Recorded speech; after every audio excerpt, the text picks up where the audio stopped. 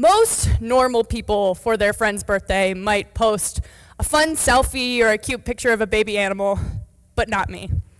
It was my friend Erin's 22nd birthday, so I posted an epic photo of the Jurassic Navajo sandstone to her Facebook wall.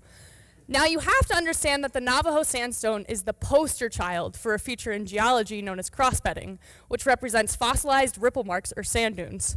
The crossbeds in the Navajo sandstone can be meters high, which is absolutely insane, considering most crossbeds are only several centimeters tall or so. Erin and I had never seen the Navajo sandstone in person, but it's in every single introductory geology textbook, so you can bet we knew just how freaking awesome it was.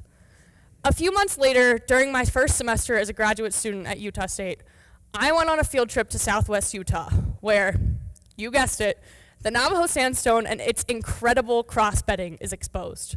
For days leading up to the field trip, I was practically beside myself with excitement because I was finally going to get to see the Navajo sandstone with my own eyes. We were camping in Snow Canyon State Park, and when we arrived, it was completely dark. I absolutely could not handle it because I knew our campsite was literally surrounded by Navajo sandstone. I could feel the 200 million year old sand dunes taunting me from the darkness. I vividly remember waking up in the morning, seeing it was light out, ripping open my sleeping bag, and leaping out of bed much more easily than I normally would. I burst out of my tent, and knowing me was making some sort of strange noise that indicated I was incredibly excited. And from across the campsite, my friend Brady asked, Hey, Amy, what is that? You can only imagine how I responded. Now, most people want to know how in the world I came to be so incredibly excited about rocks. I can pretty much pin it to two experiences that shaped both my passion for and way I think about geology. As an undergraduate, I studied abroad in New Zealand, and if you've seen the Lord of the Rings movies, you might imagine that New Zealand is a geologist's paradise, and it absolutely is. While I was there, I went on a five-day field trip to the Alpine Fault Zone, the boundary between the Pacific and Australian tectonic plates. On this field trip, I got to sit on that plate boundary with one hand on the Pacific plate, which underlies the entire Pacific Ocean, and one hand on the Australian plate, which underlies the entire Australian continent. These are the moments that at least I, as a geologist, dream of. Two weeks after I returned from New Zealand, I set off on the geology rite of passage, field camp. I spent four weeks in the deserts, mountains, and forests of Montana and Wyoming, making geologic maps, being hands-on with the rocks, and forging friendships that will last a lifetime. It was also the first, but definitely not the last, documented evidence of me actually hugging a rock. What was so incredible about my field camp experience, beyond all the amazing places I got to go and beautiful geology I got to see, is that it was like a geology immersion program. I emerged from field camp feeling like I could speak geology. And because of this new understanding, I felt so fundamentally connected to the science. I can still vividly remember the moment when everything clicked and I knew I had to do this for the rest of my life.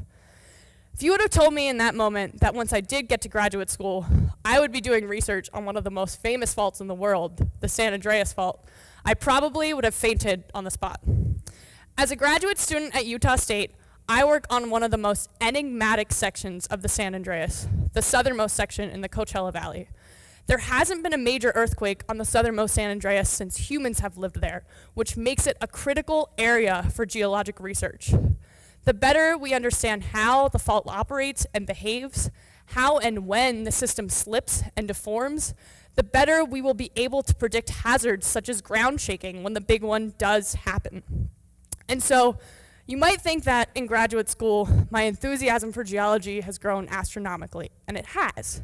But my graduate research has allowed me to become more than just the girl who gets ridiculously excited about rocks. My research has given me grounding as both a researcher and a scientist.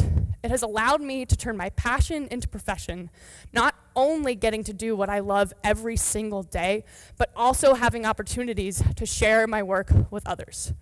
My field area in the Mecca Hills has several popular hiking trails, and people will often stop to ask why I'm crawling all over the canyon with my nose to the rocks.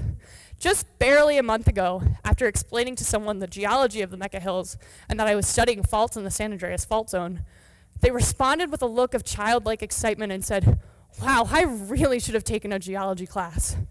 It is in moments like these where I am the most excited about geology, where I can respond and say, heck yeah, you should have. Rocks are literally the coolest thing on the face of this planet. The clues that the Earth leaves behind that allow us to investigate the record of the past and provide insight into the present should be enough for anyone to geek out on rocks.